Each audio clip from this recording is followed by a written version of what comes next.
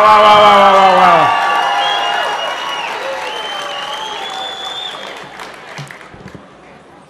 wow. Okay.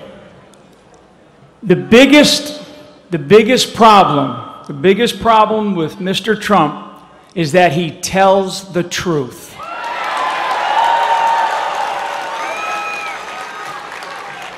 Look, I'm not going to stand up here too long.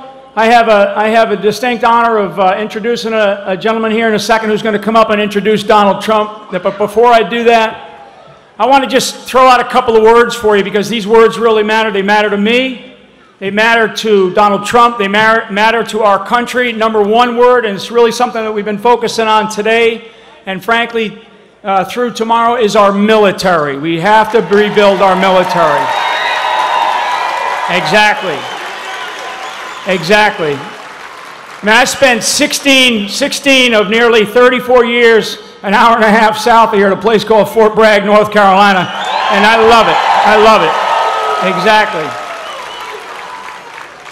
The second, and is, and is closely tied to that, is veterans. We have to take better care of our veterans. Our veterans deserve every, our veterans deserve so much more, and you'll hear more and more about our veterans from, uh, from Mr. Trump.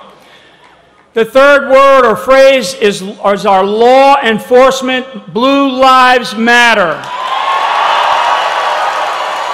Thank you. That's right.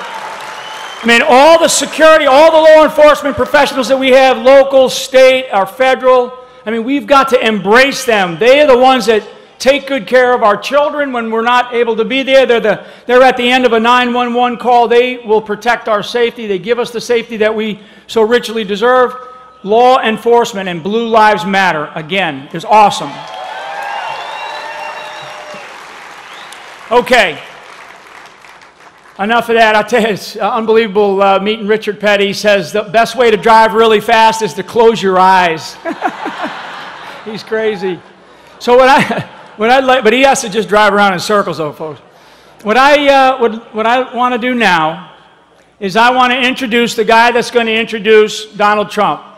And this next, this next uh, gentleman is, the, is an unbelievable person. You've seen him many, many times. He, that's exactly right. He is Mayor Rudy Giuliani, the greatest mayor of New York City in this country.